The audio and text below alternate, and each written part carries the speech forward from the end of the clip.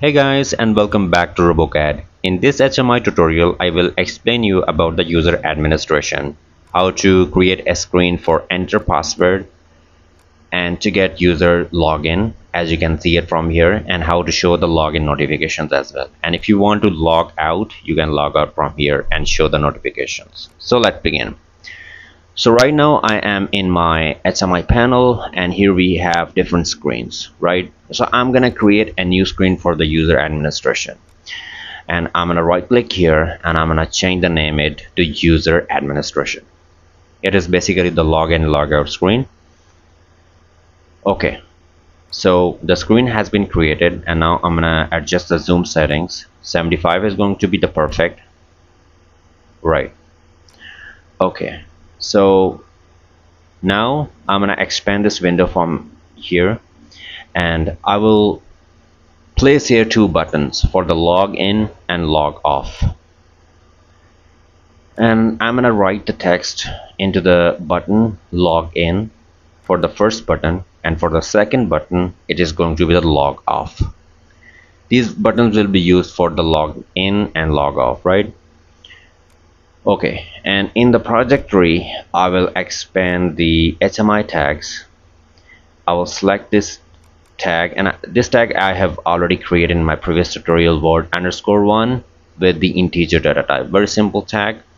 I'm gonna drag and drop here on the screen. And very similarly I'm gonna drag here the alarm view.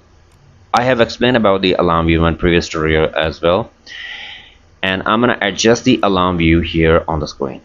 It will show the notifications of logging in and logging out. And if the user has entered incorrect password then it will show the different alarms here right? So in the general properties I'm gonna change it to alarm buffer because alarm buffer shows the notifications right? And I will do another setting. I do not want different buttons on the alarm view so I will go into the toolbar and here we have options for the button so I do not want these buttons.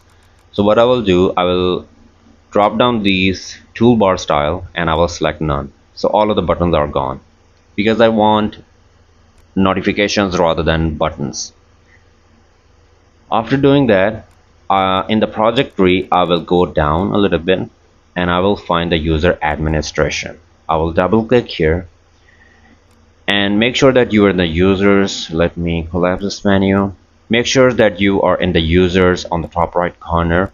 And here I'm gonna create a user. So I'm gonna create admin 1 and I will set the password. So I'm gonna set the password 123 and in confirm password I'm gonna again type 123 and then check this box from here.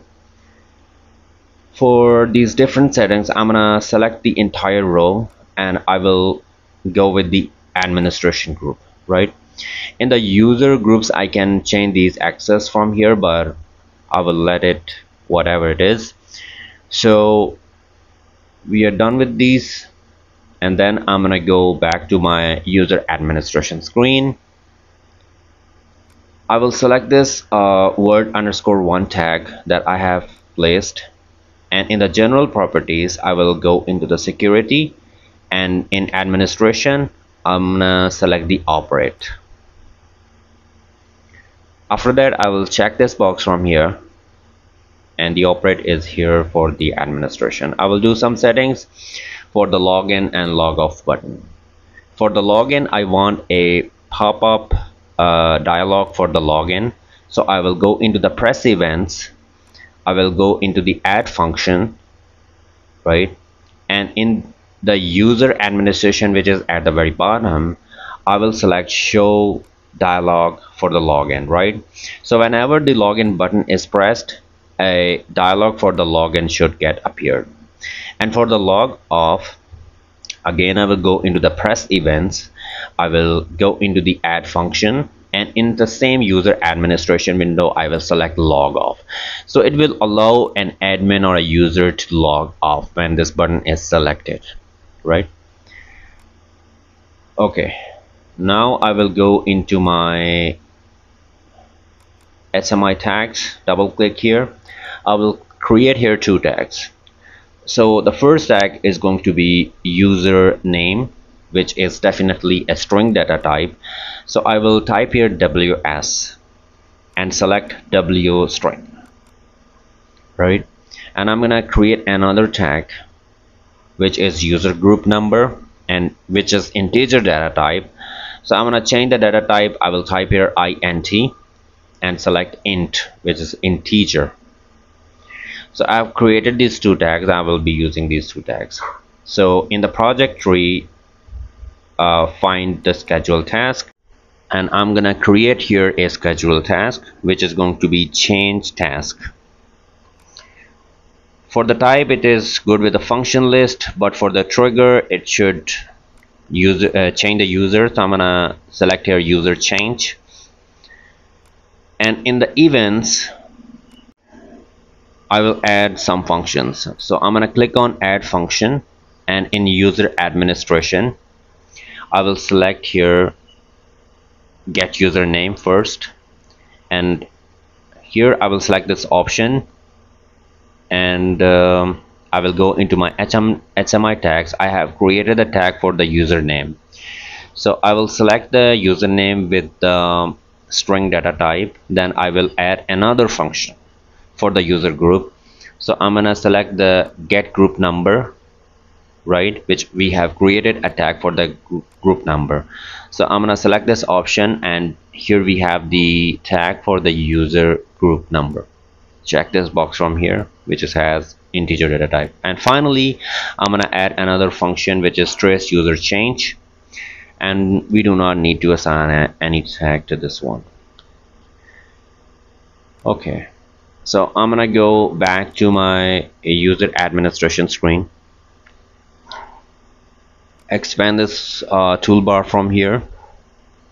And I will drag and drop this user view here I will simply adjust the screen. You can adjust this according to what you like. So I'm gonna adjust it like this.